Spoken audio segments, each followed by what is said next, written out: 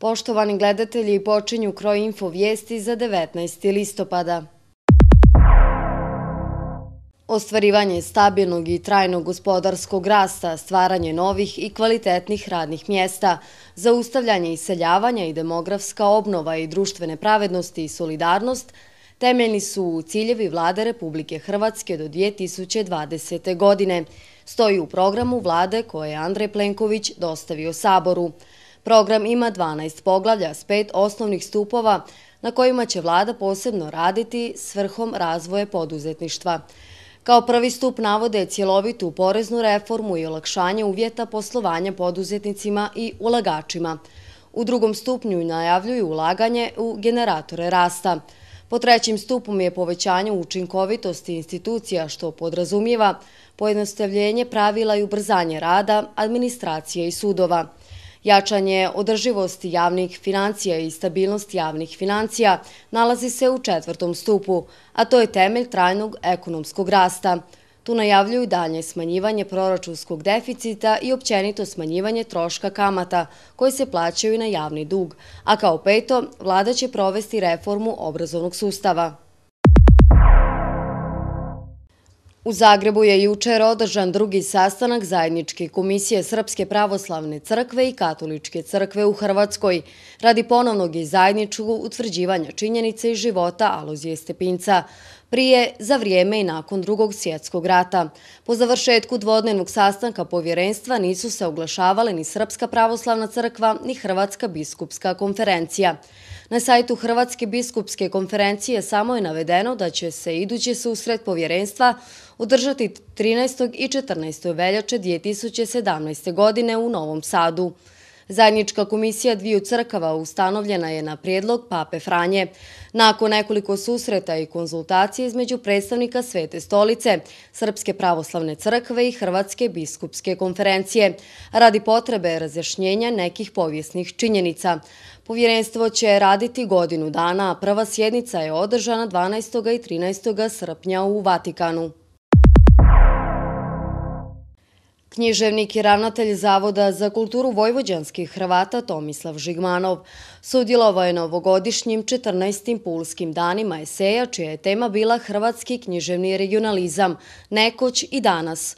On je izlagao na temu temeljne odrednice i značajke Hrvatske književnosti u Vojvodini. Nagradu zvanje Črnje je ove godine dobio dr. Ivica Matičević iz Zagreba za knjigu Mjera za priču u izdanju Ex Librisa, Pulske dane eseja organizira Istarski ogranak društva Hrvatskih književnika i časopis za književnost, kulturološke i društvene teme Nova Istra. Savjetnica predsjednika HNV-a zadužena za razvojna pitanja Hrvatske zajednice Jasna Vojnić jučer je školama u Tavankutu i Đurđinu za nastavu na hrvatskom jeziku uručila školske karte. Najavila je ovom prigodom i kako će uskoro biti riješeno pitanje učbenika za učenike srednjih škola. Danas je Hrvatsko nacionalno vijeće dalo još jedan doprinos kvaliteti nastave na hrvatskom jeziku. Naime, danas smo u dvije osnovne škole, a uskoro ćemo i sve ostale donirati geografske mape.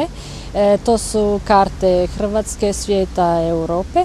A ono što je zanimljivo da su te karte modernije, plastificirane i da se poput na bijelim tablama može pisati i brisati sa markerima. Tako da će evo, učenicima učiniti nastavu i zanimljivijim i moći će na neki suvremeni način učiti geografiju Hrvatske i Evrope.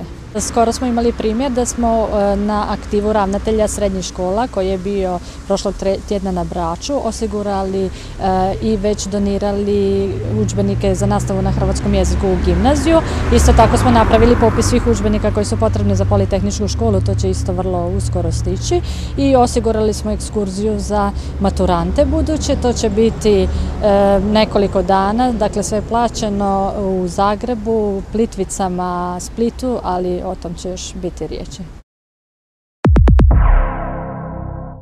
U subotu je održan šesti festival voća u Tavankutu na etnosalašu Balažević u organizaciji Hrvatskog uzdano-prosvjetnog društva Matija Gubec. Predsjednica organizacijskog odbora festivala Lidija Sarić ukratko nam je predstavila program festivala. Ove godine iznenađujući baš velik odziv izlagača, evo jedva sam ono već imala stolovo, stalno sam dodavala, ovaj, a takođe i posetioci su ove godine baš ovaj, velike poset. E, evo, vreme nas je poslužilo, baš evo, sunce nas greje, tako da je to sve podpomoglo ovome. Imamo nastupe dve folklorne grupe naših ovaj, domaćina Hrvatskog kulturnog prostornog društva Matije Gubec i Bunjevački kulturni centar iz Tavankuta, takođe i osnovna škola iz Matije Gubec nastupa sa par recitacija. E, naši suorganizatori su e, Zemljoradnička zadruga Vočko iz Tavankuta i osnovna škola Matija Gubec zajedno sa nama, galerijom.